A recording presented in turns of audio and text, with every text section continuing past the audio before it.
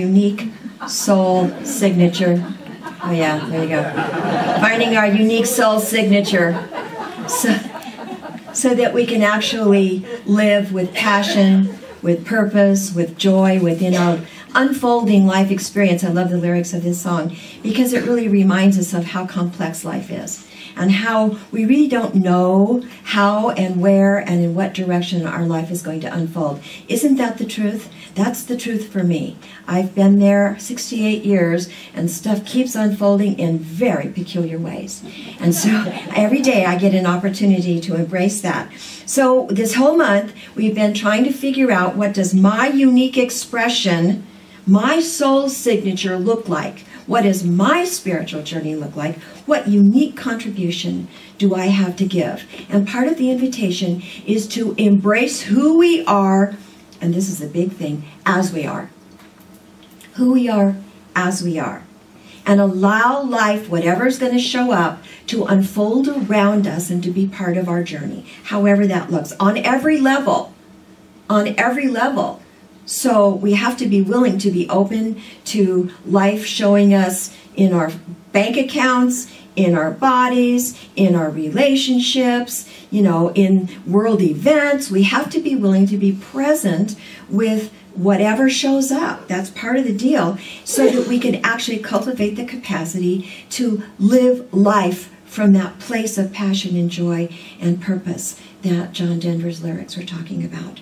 Now, this is the cosmic joke we always pick our top topics at least a month in advance. So we're going all the way back to the, you know, probably um, October, sometime in October.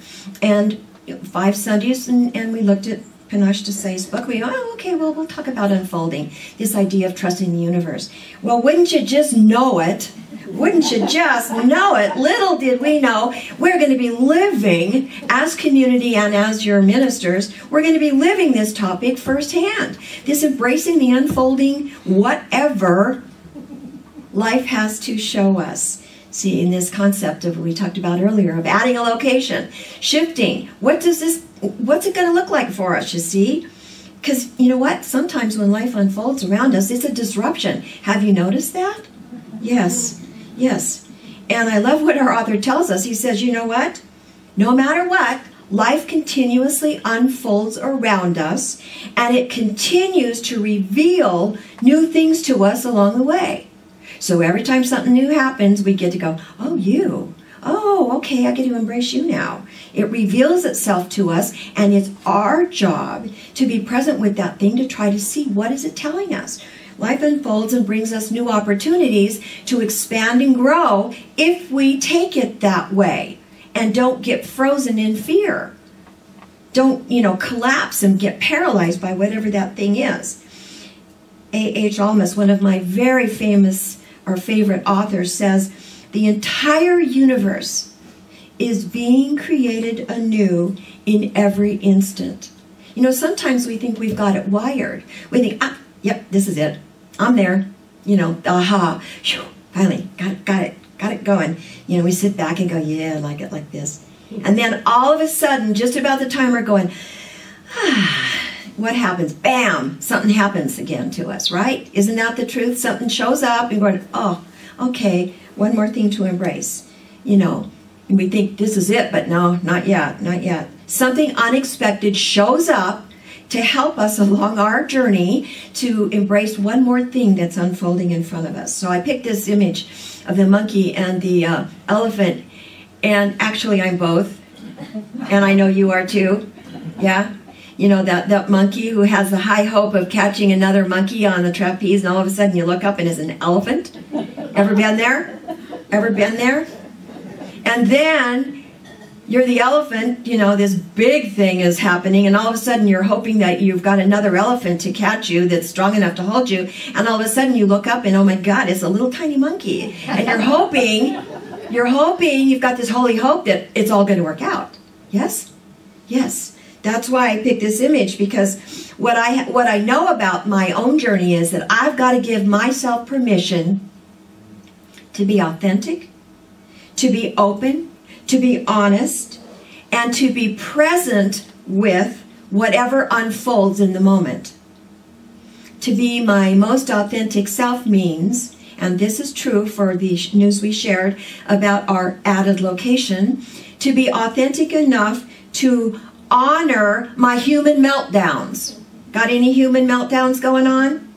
In any area of your life when when things don't work out just the way you thought they were where you feel overwhelmed you know? Where you know for me i glenda and i did a dialogue a couple of weeks ago and and i had to cry because glenda sort of hit one of those hot buttons. She says i don't want to make you cry. And i went well then stop talking. Then don't mention this and i won't have to cry. Right? Because i got some family stuff going on around some custody issues and stuff. Stuff's going on right? And so i was a little fragile around the around the edges and so then this opportunity unfolds where we're gonna we got to move common ground. Are you kidding me? We got to move our community someplace else. We can't do services at Golden Circle anymore. And you know what? It was a straw that broke the camel's back. Normally, when I melt down, I was telling Carol. She said, "Thank you for being authentic." I said, "I had to be authentic because I had a public meltdown." How are you to hide a public meltdown, right? I had a meltdown in front of some folks. Normally, I melt down in private at my house, get over it, and move on. But this was public, so I have to honor the fact that sometimes we have to embrace the idea that when this stuff shows up, no matter how spiritual we think we are, we're going to melt down. Yes? Okay. You know, say to yourself, my inner self was saying, I cannot do this again. I cannot create yet another sanctuary. I can't build another meditation garden. I can't, I can't, I can't. Too hard. I want to throw in the towel. I want to give up before I even, you know, embrace the idea that there were possibilities. In that moment, uh uh Have you been there? Have you been there? I know you have. Where we feel very alone, very responsible. See, that's my, my buzzword very responsible Yes, a lot of fear, a lot of tears, a lot of despair. And then, thank you, God. Anybody see the movie Moonstruck? Yeah. Remember Cher? Some kind of thing was going on and she smacks the guy in the cheek and she said, snap out of it. snap out of it. So I had my snap out of it moment. Had a moment of insanity, didn't last very long. And then I had my snap out of it moment where I remembered, see, this is a thing. Wait a minute. Wait just a doggone minute, as my old Aunt Margaret would say. Wait just a doggone minute. You know what? I have a choice. I know the truth. I have basic trust in the universe to support my journey and this community's journey and my family's journey and everybody's journey. I know that at the deepest level of my being. And you know what? I just forgot momentarily in the midst of fear and despair. And once that happened, once I remembered the truth, all of a sudden I was open to grace and the activity of the divine within the experience. And I got it. Oh, that's right. I teach this. Thy will, not my will, be done. I teach this. How could I forget this in this moment of despair? So then I am at a choice point, and this is all of our choice points. No matter what's going on, what icky thing is showing up, do we get bogged down with whatever this thing is, or do we open up and progress through it? And the unfolding aspect of our journey invites us to progress through it, to know that everything will be okay. Do we know how it's going to be okay? Uh uh Do we know how it's going to look? Probably not. Do we know for sure it's probably going to look different than our ideas? Oh, yeah, probably going to look very different. But what I know about this is that part of my public meltdown was grace. And the reason it was grace is because I think I frightened a lot of people because I try to hold it together so much. And here I am falling apart.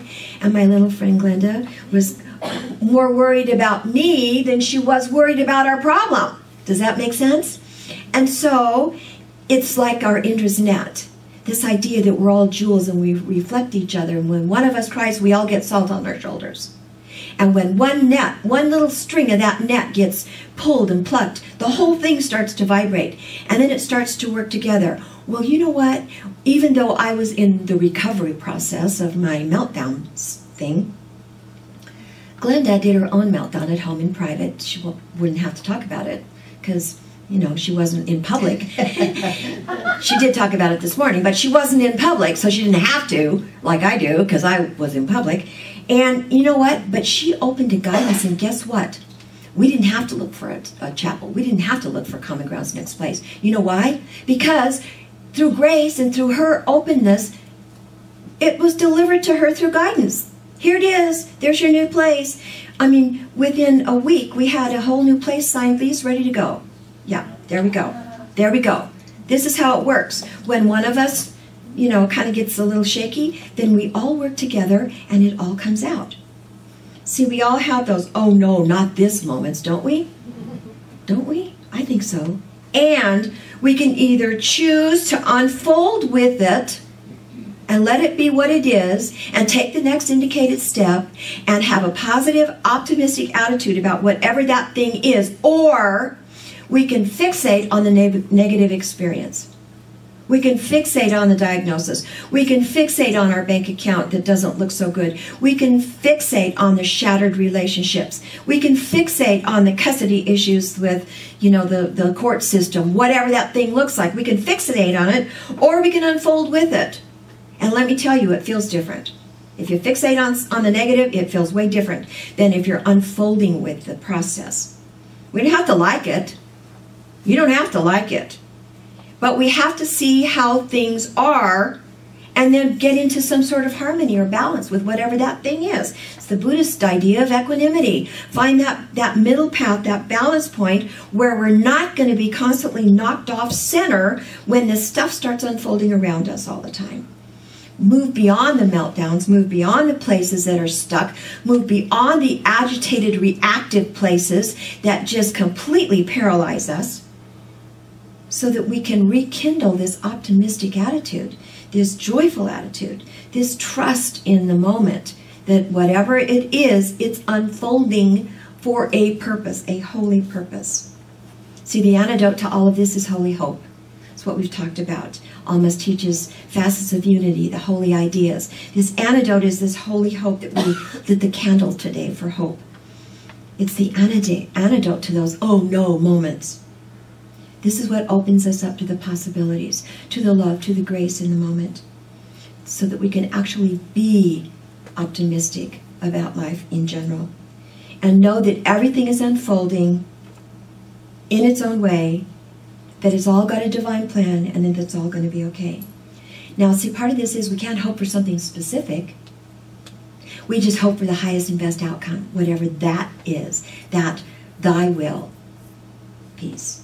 Just allow it to unfold the best way it can. And then we can just relax and go with the flow.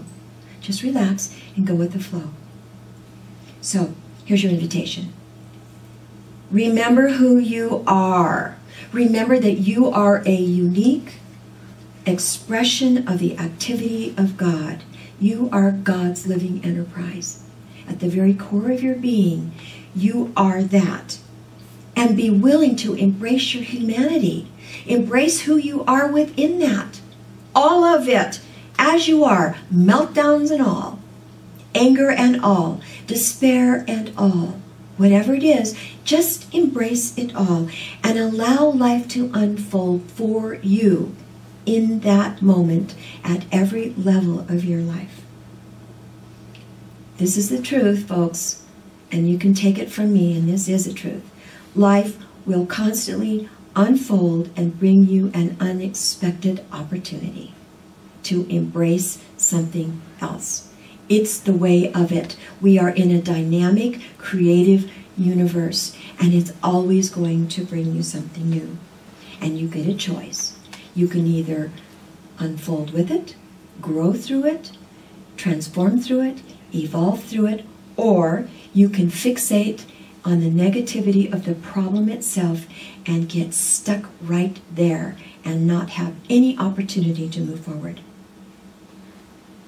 Everything is and will be okay. I don't care what you're going through. Everything is and will be okay. And I know that because it's all God. And the divine is part of every single thing that's going on. So when we allow life to unfold on its own, and we can be fully present with that, this is where we actually get to live the invitation of Panache Desai's book to live with passion, with purpose, and with joy. Thank you for listening.